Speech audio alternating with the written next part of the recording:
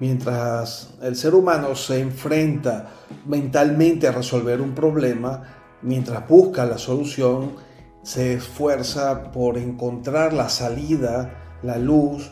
Eh, es como si mirara a través de las ventanas de la mente, buscando puertas, abriendo la que logra abrir hasta encontrar la luz y la salida.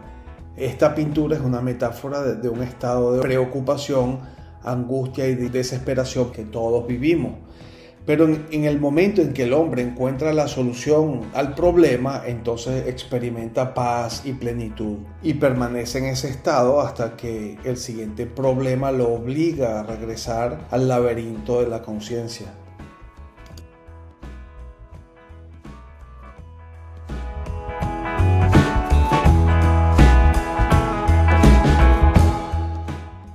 En los años 80, Pablo Díaz Carballo tocaba la batería en una banda de punk rock implicado en un movimiento de protesta juvenil que entendía la música como una forma de activismo político contra el gobierno de Caracas de aquellos años.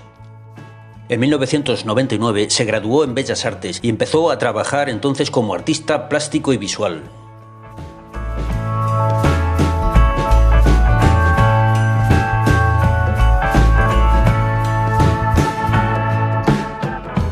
Para llevar a cabo un verdadero activismo es necesario entender que si quieres cambiar el sistema, no tienes que quemar la ciudad. Debes ser más creativo que el sistema y aportar valores para que puedas hacer los cambios.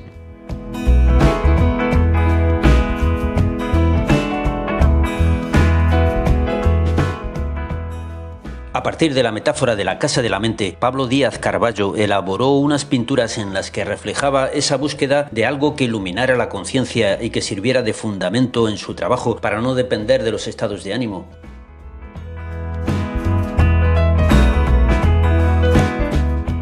encontró en las ideas del arte conceptual y en el concepto de arte expandido esas puertas y ventanas necesarias para seguir haciendo su trabajo con conciencia social.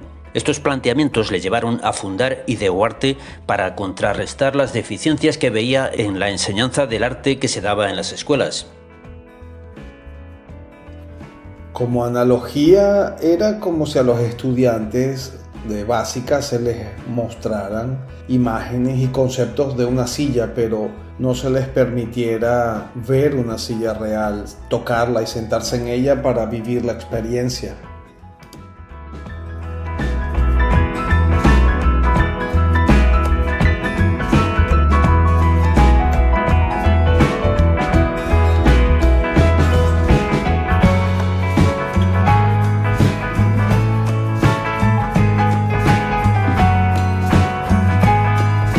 Partir de 2003, con Ideoarte dirigió su trabajo a la formación artística de niños y jóvenes aplicando las ideas derivadas de la metáfora de la casa de la mente.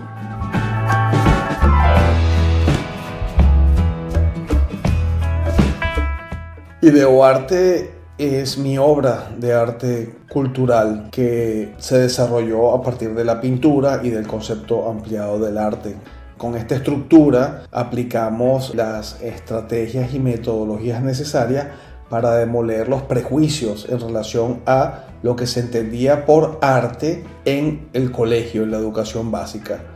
Entonces abrimos ventanas, rompimos puertas, vamos a decirlo así, en la casa de la mente como una forma de acceder a nuevas experiencias para modificar el diseño de la casa de la mente del estudiante o la casa del ser interior, si lo entendemos desde filosofía, hasta alcanzar los objetivos que me había planteado en los proyectos de arte conceptual, el modelado de la conciencia, modificando de esta manera la percepción y lo que se entendía por arte. ¿Qué es el arte? Pues ahora tenían una nueva arquitectura de pensamiento donde las experiencias sustituirían estos conceptos y estas memorizaciones que si bien son importantes pero no muestran la, la intuición poética que vive el estudiante cuando se dedica a conocer a través de las experiencias plásticas.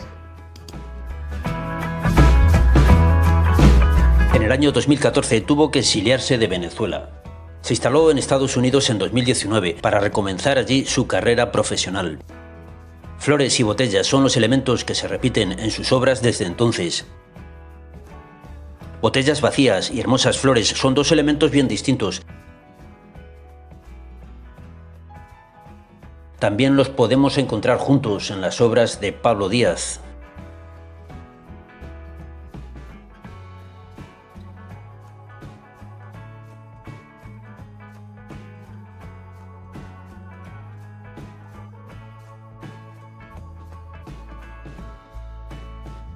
¿Qué lugar pueden ocupar esas flores y esas botellas en la casa de la mente? Es algo que nos llevaría de nuevo al laberinto de la conciencia. Es importante que la casa de la mente esté bien arreglada, iluminada y limpia,